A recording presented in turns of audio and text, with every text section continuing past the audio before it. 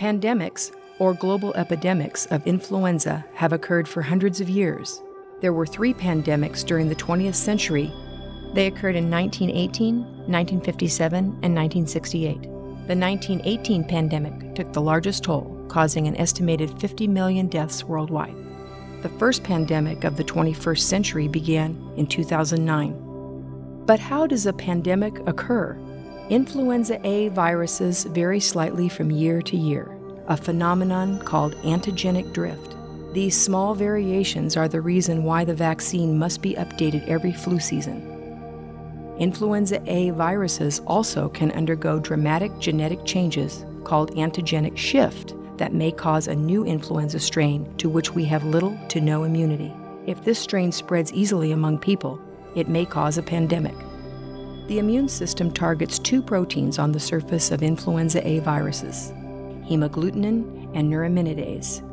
Hemagglutinin has 16 confirmed subtypes of proteins. Neuraminidase has 9. From these protein combinations, scientists name influenza viruses. For example, an H5N1 virus contains hemagglutinin subtype 5 and neuraminidase subtype 1. Antigenic shift can occur when two different influenza A viruses circulating in the environment infect and multiply inside the same cell. While inside the cell, these parent viruses can exchange or reassort genetic material and create a new virus. Through reassortment of the eight gene segments of each virus, there are theoretically 256 possible virus combinations. Pandemic viruses also can emerge in other ways.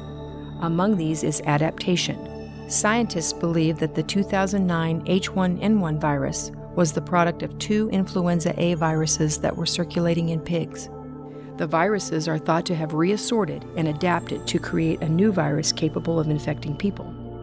If an emerging virus transmits efficiently from person to person, it would be a challenge for scientists to produce an effective vaccine fast enough to limit its spread.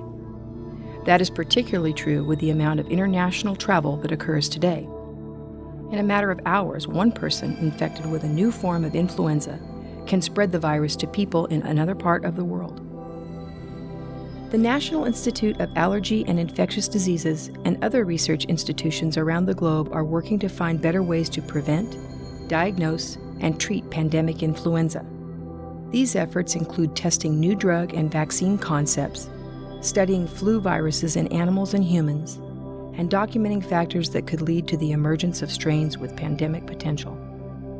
The aims of these projects are to help health officials quickly detect an emerging influenza A virus and implement measures that bring the outbreak under control.